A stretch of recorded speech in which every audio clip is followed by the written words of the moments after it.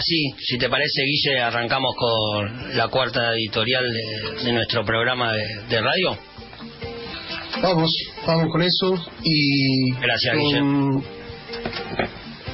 Decimos que un fantasma recorre Latinoamérica, que es la Asamblea Constituyente. La situación revolucionaria continental se ha agudizado con la aparición de la COVID-19. A sus características particulares, por las que la hemos llamado sui generis, se le suman las muertes, la agudización de la pobreza e innumerables consecuencias de esta pandemia que han puesto en evidencia lo obsoleto del sistema capitalista, provocando, de manera resumida, las siguientes situaciones. Una situación de crisis estructural y superestructural del sistema que debilita su régimen de administración colonial. Una aguda polarización social que no encuentra respuesta en las instituciones del régimen ni salida por la vía de sus representantes políticos. Una desconfianza creciente en los partidos y direcciones de la clase dirigente, desconfianza que deja vacante el liderazgo político y sindical en el movimiento de masas. Posibles situaciones de vacío de poder que tienden a ser resueltas por la burguesía a través de alternativas populistas o reformistas de naturaleza contrarrevolucionaria. Semejante situación se da sin un partido revolucionario, sin organismo de poder global y sin un ascenso de carácter revolucionario protagonizado por la clase obrera pero se da. Y la situación no se soporta más. Y entonces los pueblos salen a la calle. Ciertamente la consigna de la Asamblea Constituyente no tiene nada de socialista, como por ejemplo la consigna de nacionalización de la tierra. Son solo elementales demandas democráticas y burguesas, pero se vuelven revolucionarias debido a la dinámica social que desatan, ya que la burguesía no es capaz de satisfacerlas. La Asamblea Constituyente ha vuelto a aparecer. El movimiento de masas, en algunos países de Latinoamérica, la ha tomado como eje movilizador y el pueblo chileno transita la experiencia más desarrollada. Las movilizaciones de masa en toda América Latina y hasta en los propios Estados Unidos han desnudado la crisis terminal de instituciones obsoletas, como las Cortes Supremas, los parlamentos corruptos y todas los demás que se mueven por debajo de ellas. Las fuerzas represivas solo golpean a las clases oprimidas y ni hablar del sesgo machista y misógino que las recorre, revictimizando siempre a las mujeres y disidencias sexuales ante cada oportunidad. Todo esto demuestra que es necesario terminar con esta superestructura opresiva y caduca para barajar y dar de nuevo, organizando los países bajo los intereses de una nueva clase, la clase trabajadora. Sin embargo, desconectada de una estrategia de poder, la discusión respecto de la Asamblea Constituyente no pasa de ser un tema para tratar entre constitucionalistas de la burguesía o parlamentaristas socialdemócratas. Por eso es central que esta consigna esté acompañada por movilizaciones y organizaciones de la clase y del pueblo empobrecido. De lo contrario, no ayudará a alumbrar ninguna sociedad nueva, sino que cambiará el rostro de la antigua opresión.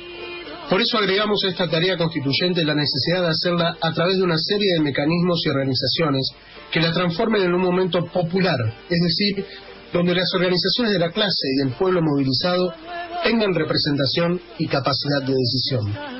Esta táctica política, acompañada de masivas movilizaciones, tiene implicancias altamente desestabilizadoras del sistema y del régimen, si es que logra alguno de los siguientes objetivos. Desenmascarar la hipocresía e incapacidad de la burguesía para hacer efectivo el reclamo del pueblo, educando a las masas movilizadas a ejercitar una experiencia democrática de manera independiente, combatir e intentar desterrar de la conciencia política las ilusiones que aún subsisten sobre esta pretendida democracia burguesa, permitiéndole superarlas mediante la propia experimentación.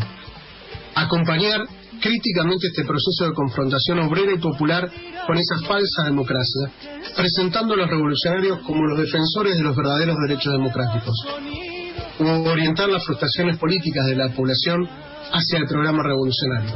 Insistimos en decir que no se trata de reformar la Corte Suprema, el Congreso o cualquier otra institución caduca.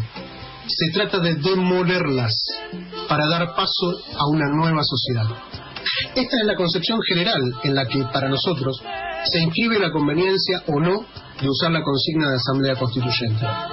Limitar nuestra política a expresar la fórmula de gobierno breve y popular, con ser programáticamente necesario, no satisface la necesidad de dar respuesta a circunstancias y relaciones de clase que la realidad provee. En las circunstancias actuales, nosotros creemos necesario buscar un cauce político adecuado, posible y creíble, para desatar una dinámica social que permita hacer avanzar siquiera un milímetro al conjunto de la clase trabajadora, sujeto esencial para acaudillar el proceso ininterrumpido de la revolución socialista. Muchas gracias, Guillermo. Muy claro.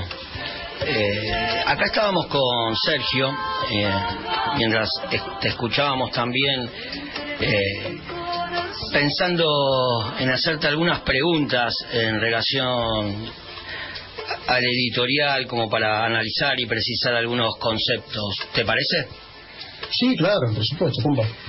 Bueno, mira, en, en, la editorial se señala que ante esta crisis económica, política y social que atraviesa nuestra región, agravada también por el COVID-19 y, y, a pesar de la falta de una falta de dirección revolucionaria, los pueblos salen a la calle a enfrentar estas políticas de ajuste y de eh, proimperialistas este, y con exigencias como mejoras salariales, jubilaciones dignas, por acceso a la salud, a la educación, a la vivienda, por el derecho al aborto y por las libertades, por las disidencias sexuales.